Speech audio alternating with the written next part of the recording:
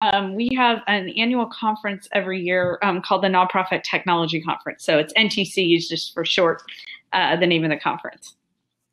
And it's a really great conference. Amazing people. And the people that attend this are all nonprofits. You know, they want to change the world. There are some vendors. Technically, I'm a vendor, but you know, it was really, it's always amazing. And I always meet really great folks. So it's a lot. Yeah, and you know when I'm we're running the conference, we don't necessarily get to go to that many sessions, but I got to go to Janet's session this year, and it was awesome. I took all these notes, so um, I need to put in the shared notes still, but um, I learned a lot of cool stuff. So that that that's, that's really nice. I love it love it when I can get to another session and actually um, learn some things too.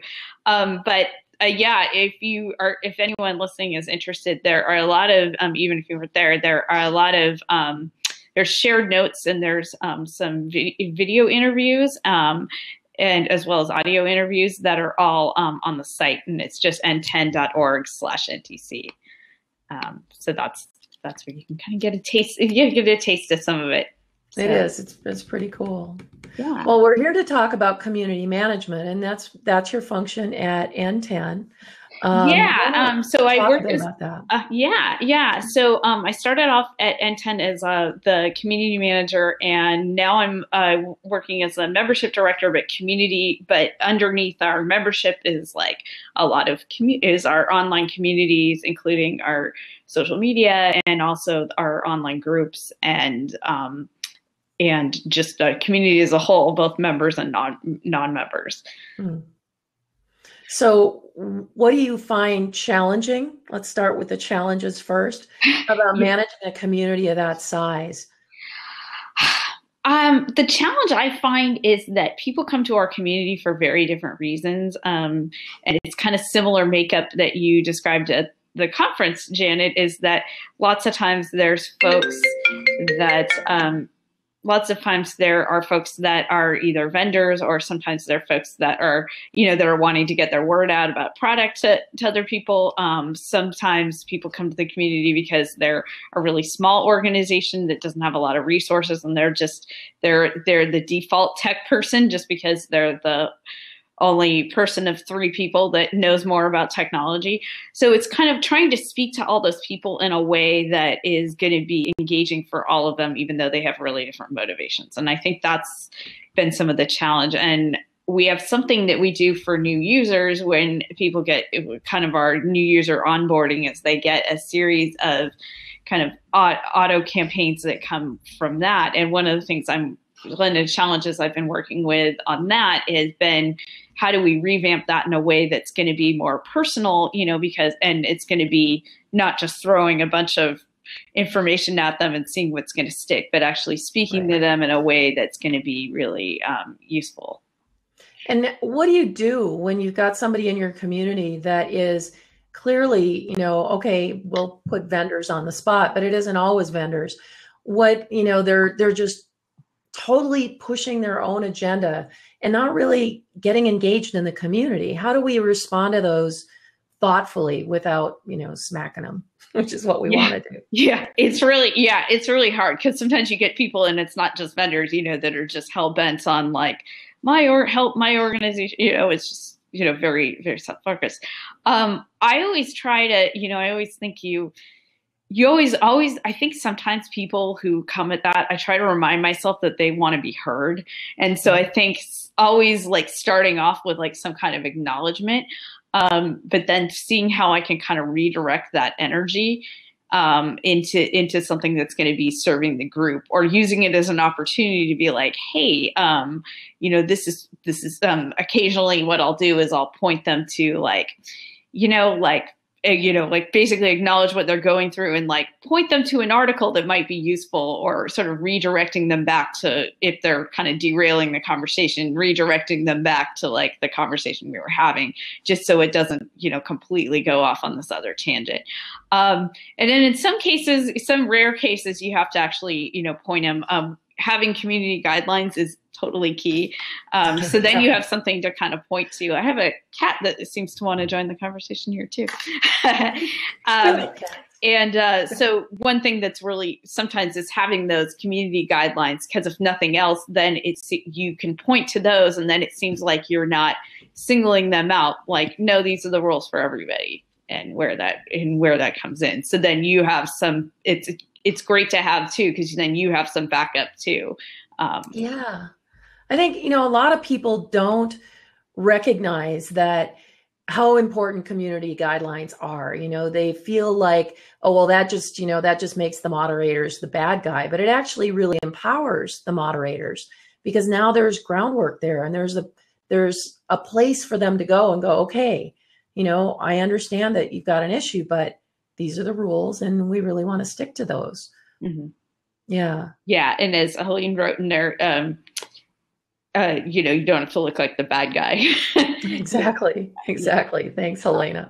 Yeah. So people feel listened to, even if you're sort of gently disciplining them, I guess you could say. Um, yeah. And um, what I'll do too is I'll tweet out after this, or you know, folks can find it on Pinterest. But um, there is a, a, community, a great community person, uh, Deborah um, Askanase, and she mm-hmm. has a she has a great set uh, Pinterest board that's just all these different um, community management and moderation. is for a variety of different communities, both for profit, nonprofit, um, you name it. Um, and so it's a really good collection. So if you're looking to try to get some examples to kind of, if you're developing your own, it's a really good um, resource for that. Oh, that's great. Yeah, Deborah's pretty awesome. She's really fun. And uh, yeah, yeah, she's she's got a lot of really great tips. So when we're talking about building out those, let's say that we're thinking about starting a new community and you know, we kind of know what our market is, but how do we how do we start setting up those guidelines? Um, what examples would you give to somebody, you know, beyond what Deborah does, but uh, what should we be thinking about when we want to set up community guidelines?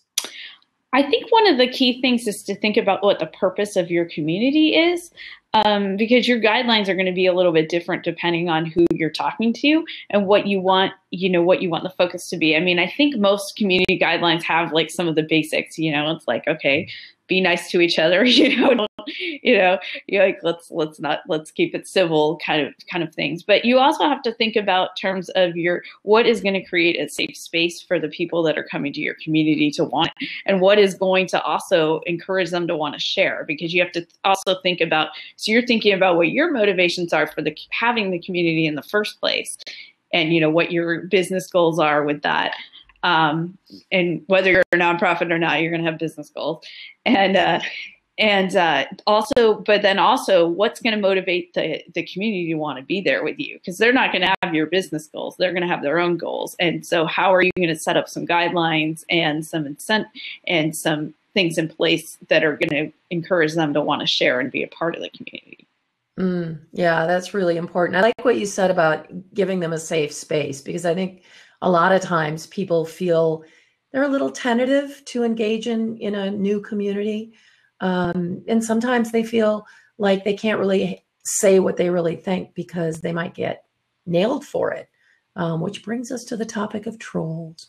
Yes indeed. Well so i've been fortunate enough that like you know I, the communities that i've managed have largely been you know focused around like nonprofits and tech. And occasionally mm-hmm. there there gets to be some heated discussions, but for the most part, it's been, you know, like people keep it pretty civil. We've only had like a real handful of trolls, and I think I've only ever had to ban like one person other than wow. other than um, other than you know you just your your run of the mill spammers. Uh, mm-hmm. Uh, but but you know when you're talking about a community that is a much more sort of weighty topic, like whether it's sometimes there's support communities around some kind of health issue, or if there is something where it's, um, you know, where there's privacy implications. Um, and then I think also sometimes with, um, you know, a community that's maybe involved in like political discussion, you know, is doing some kind of political organization. Anytime there's kind of more of a heated issue, I think that's where you're going to definitely run into more of that troll, you know, the troll aspects. Um, yeah. Um, and uh, great, I was looking at some of the comments on there. Um, a question about like what would be a good incentive for community members to play nice and engage and share. Um, I think I think some of it is like you know kind of stating stating sort of what the goals of the community are. Is like, hey, we want to help you. You know, get, you, you know, here's how we think this will help you achieve your goals. So I think that um, that's a one way to one way to get um, one way to get them to to or kind of an incentive that I've that I've found really useful is um, is uh, just sh- wanting to share information. Um, I think a lot of times when people come to our community and they're able to see that you know people get a response right away or they get they get information that's just offered to them beyond like necessarily what they're asking for and they get that from other people they realize that like oh hey like this is a place where we can share like we're not competing necessarily you know like because um, i think sometimes you know and there's this feeling of scarcity sometimes at least in the nonprofit world where like you feel like oh i can't you know like we're all competing for the same donation dollars. And like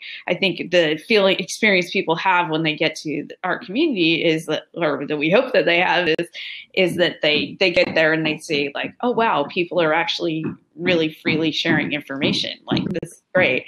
Um, i know for me i started off as a as a member of of NTEN before i was you know community manager there. And it that was the thing that always blew me away was like i was like people are just offering like no one's paying the money to like respond to my question you know about database. Yeah. So um, i think i think uh, i think definitely being really responsive is one thing but i think also um, when people see that the, like the tone you know sort of modeling that tone yourself but then also having a few key people that are willing to help you model you know what that what that focus is and mm-hmm. you know, making that making sure they're aware of what the guidelines are yeah, Kristen agrees with that. I think too that you know it's always useful to have an experience as a member 1st mm-hmm. you know, mm-hmm. and, and that's something that helps a lot because then you understand the tone of the community. If you're coming into an established community as the community manager and you kind of suddenly take over and start acting all moderatory, then that may not be the best way to, you know, join a new community. You really kind of want to lurk a little and, and see what the flavor of the community is and how they talk to each other. Yeah, I, I, definitely, and I, I've pretty much always, anytime I've thought about just engaging in a community as a user, is I'm usually a lurker, and so it's kind of that good point of like one thing to think about with your community is like you're thinking about the people that are sharing, but you also should think about the people that are lurkers because they're a part of your community too, mm-hmm. even if they're not necessarily sharing. You know, some people that just never share, but they they come all the time. And um, you know and sometimes you hear from those people and like you know it does it does matter. So like also keeping that in mind you know the people that visit aren't always commenting but they're they're also there too. Yeah. Yeah. Well and you know that's that's so true. And it, it's a real challenge when you know sometimes we'll get brands that are setting up a new community and they're like nobody's there. And it's crickets. And you know it's really hard because a new community is often very, very quiet, and only a small percentage of the people are are really having conversations. So finding ways to draw out people who are lurking, finding out maybe a little bit more about them and putting things out there that you know they're specifically interested in or maybe even, you know, asking them questions or asking them to guest post. Those are ways that we can, you know, really encourage them to engage. And I'm sure you have more tricks than that because you've been doing this a long time.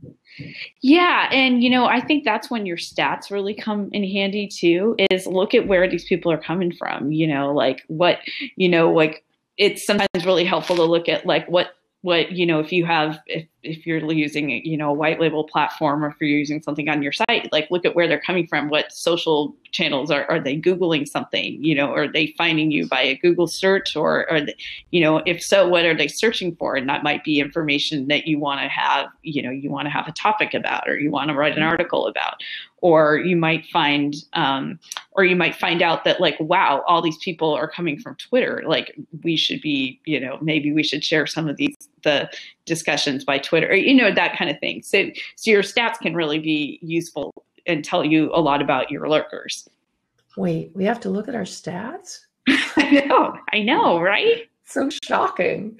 What what kind of analytics um, do you usually look at when you're when you're talking about stats? So, um, I it depends on what channel you're talking about. Um, like I'll use good old Google Analytics uh, for certain things on our site just to get a sense of our our audience as a whole. Um, you know, like to see what people are coming to the site, so you know what articles they're looking at.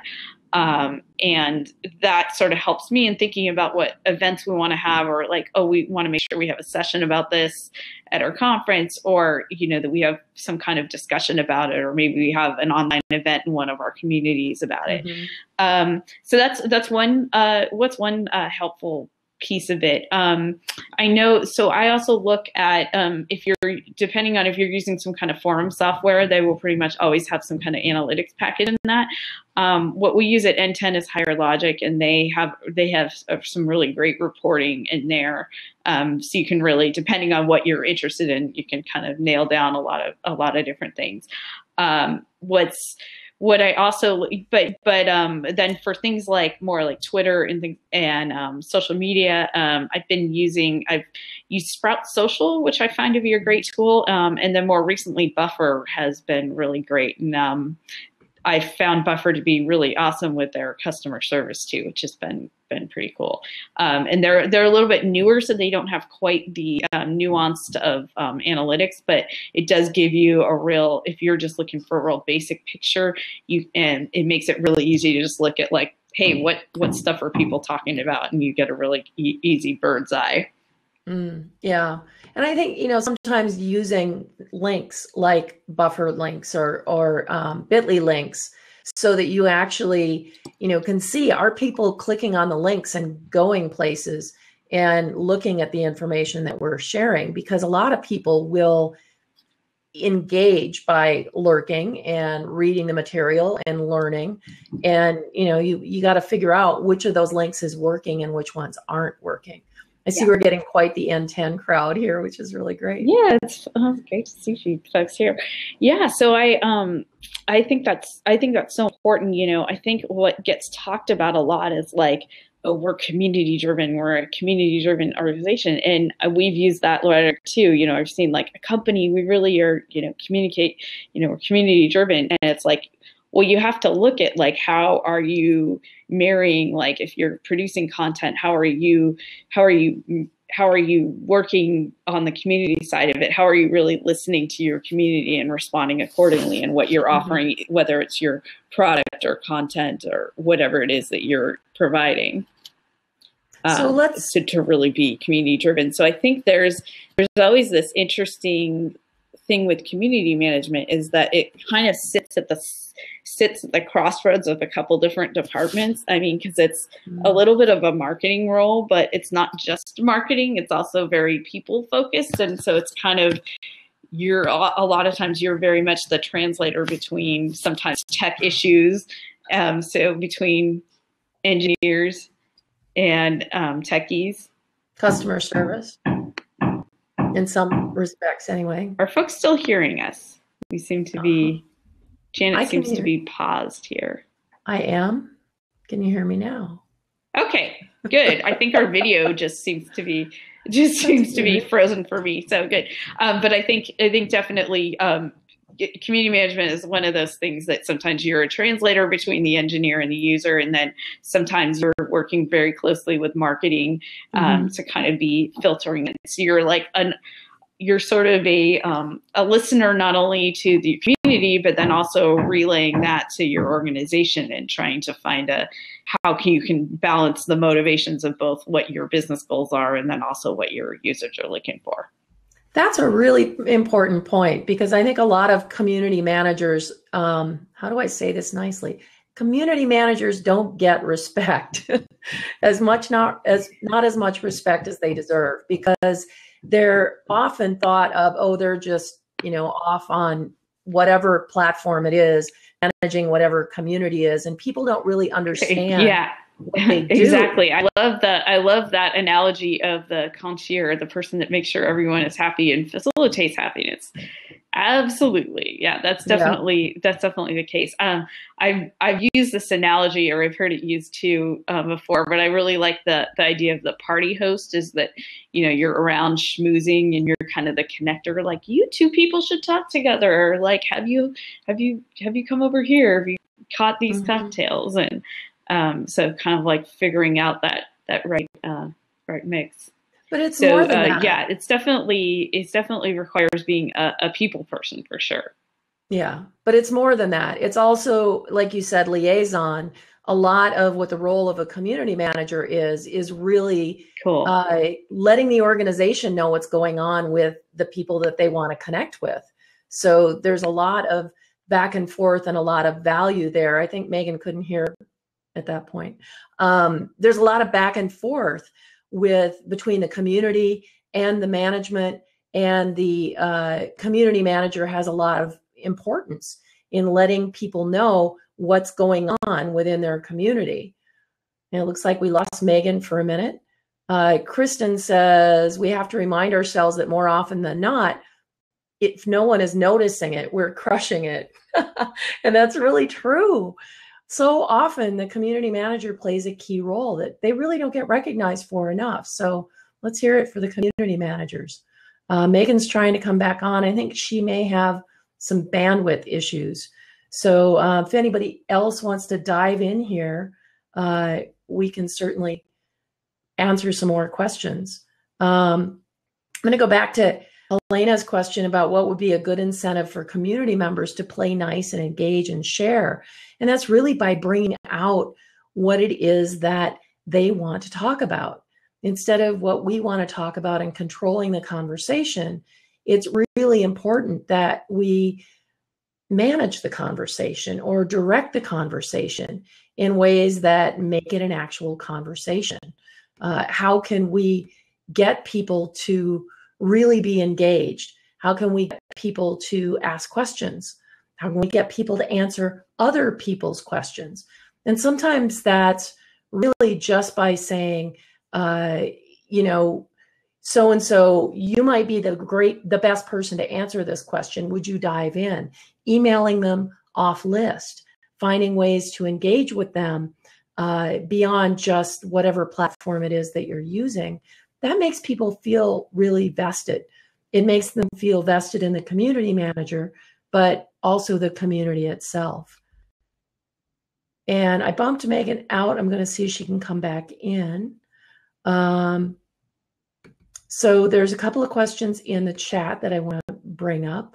Um, David Kutcher says, I don't think community members always need to play nice or even engage, but the community manager is the person that channels the energy to be most effective. And that's really true. I mean, that's part of our thing about guiding the community is really more about guidance than it is about management, right? Um, we really want to find ways that we can enable the community to have the conversations. It's not about the community manager. Our job is to keep the th- keep things flowing, keep people talking, keep them happy, keep them engaged. And so if we can find ways to do that, then that's a win-win for everybody. And uh, you know, finding ways to connect the community to the organization so the organization sees the value of the community keeps us in our jobs, but it also keeps people happier and it keeps the community happier. Um, I'm going to, let's see, I think I'm going to, uh, to see if Megan can call in one more time here. We'll give her another chance to dive in. I think it might be a bandwidth issue, Megan, because I'm guessing that you can hear me now. So let me know uh, if you can hear me. We don't see your video and we can't hear you.